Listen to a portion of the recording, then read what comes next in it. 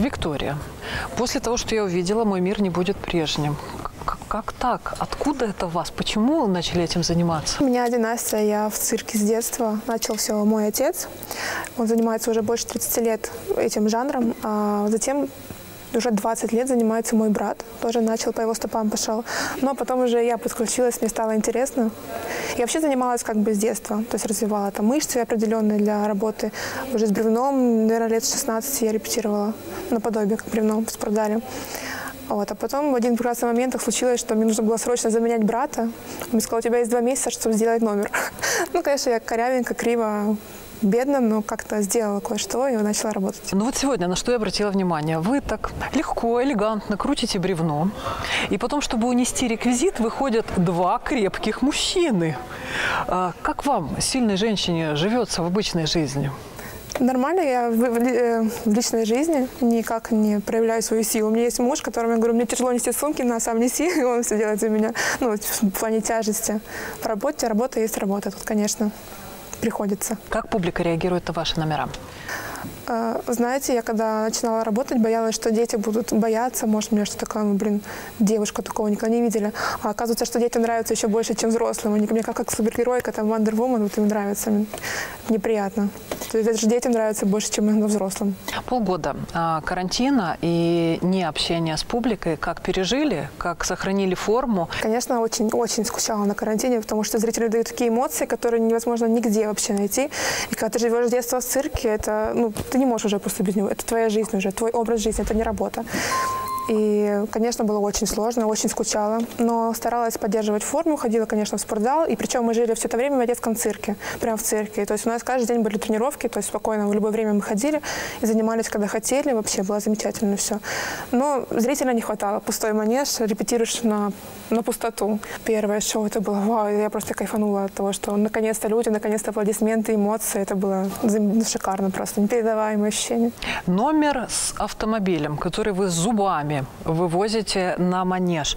А, как он возник? Как вообще вы поняли силу своих зубов и что ими вот таким вот образом можно пользоваться? Э, ну, это еще мой отец, еще, наверное, лет 20 назад. Они до этого они работали номер с как кузня. У них были молоты, там огромные тыквы, тоже в киевском цирке, они везде работали.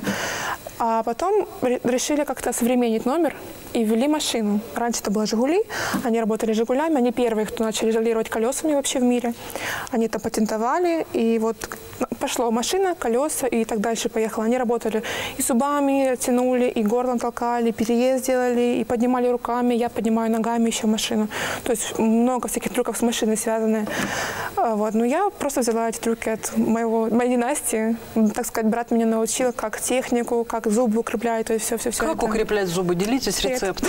А? Секрет. Не, на самом деле это все не зубы, это все небо. Я держу машину небом. Когда я тяну зубами, но кажется, что зубами, на самом деле я силой неба все челюсти, получается, прижимаю. И ну, это время, эта тренировка сначала было очень больно. Я даже есть не могла несколько дней, когда только начинала, очень сложно. Ну, за два месяца уже потихоньку боль меньше, меньше, меньше, меньше.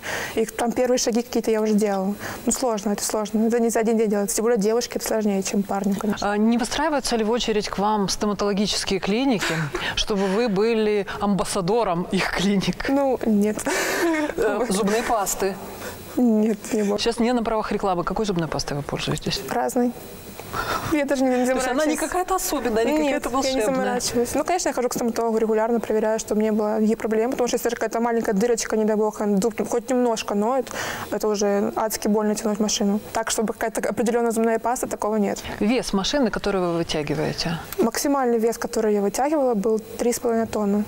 Это Хаммер, насколько я знаю, 3,5, там, ну, там мужчинам лучше понятно. Ну, Хаммер я тянула. И Toyota Land Cruiser тянула зубами. И переезжала она меня еще. Ну, по-моему, через все тело переезжала раньше. Уже это, конечно, не делаю, но раньше было такое. Какие-то еще новые грани хотите в себе открывать? Я люблю жонгляж. Это уже не связано никак с э, силовым, но у меня муж жонглер, и я очень люблю жонглировать. Вот мне очень нравится парное. Соло мне сложно, это очень тяжело.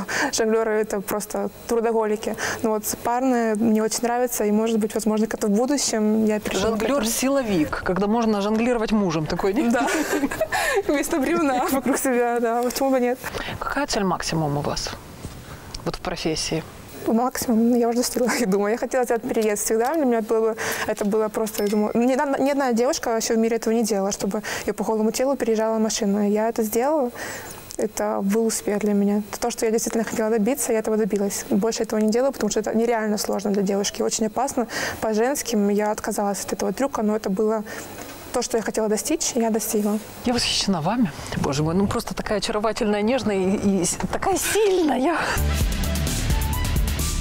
Это моя жизнь. Я, ну, я за все его люблю. Я люблю, когда в зале зрители, когда они улыбаются, когда они аплодируют, эти эмоции я просто обожаю. Я люблю саму атмосферу репетиции, когда это все подготовки, все кипит, все люди, артисты сидят, там, стараются, что-то выдумывают, когда придумываешь новые трюки. Еще у меня муж клоун, и т- придумывать новые репризы для меня это вообще кайф. Сидишь, думаешь, смеешься, что-то новое выдумываешь. То есть это постоянно жить в творчестве. Ты постоянно, у тебя постоянно мозг работает на творческой волне. Это очень круто.